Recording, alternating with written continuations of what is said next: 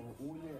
Da, maslinovo ulje, da, maslinovo ulje traje malo duže, prosto kao maslinovo, kao svako maslinovo ulje. Ako se više možete soli isto, isto može dosta duže da se koristi preko 6 mjeseci. I ako na deklaraciji morate da nas